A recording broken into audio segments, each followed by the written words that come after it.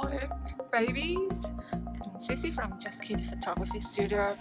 Um, today we're gonna have um, a baby around 11 months.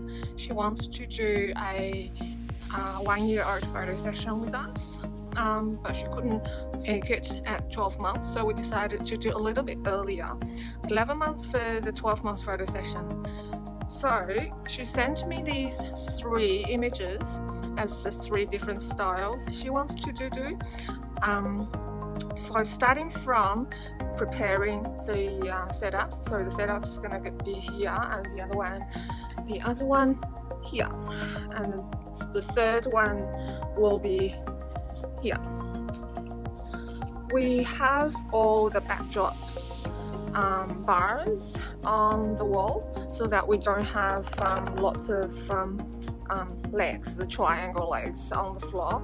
Um, okay, we're gonna start with the first setup. Uh, I'll start with um, um, hanging up the backdrop and then putting a two PVC boards on the floor. Um, okay, we'll go from there. As you can see I've put two pieces of PVC boards together. Uh, it was actually from one piece but I trimmed into two. The reason why is because uh, it's very difficult to move the large piece and um, for some areas I only need the small piece but in the image the line is going to show up in the original image. It doesn't matter, it takes only one second to remove that. Um, for the backdrop, it's um, it has lots of wrinkles. So what, what I'm going to do is I'm going to use a steam iron to remove the wrinkles. It's a fabric material, so you can, that's a fabric. You can just use a steam iron or just a domestic iron to do that. See, most of the wrinkles and creases have gone. Only some very stubborn ones here the folding crease. That one, the line is still there.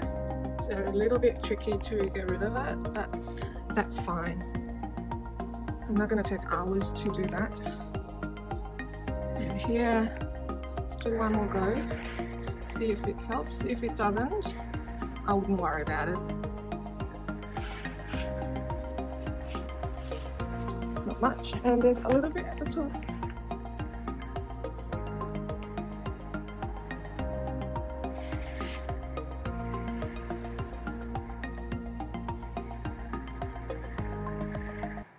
Okay, it's pretty good.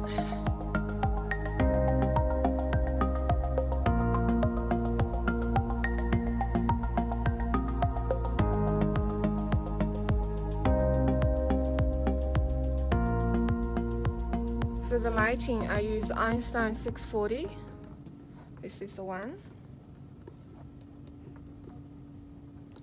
And a piece of foam board to reflect the light. So I'm just going to place my light to the left and my board to the right.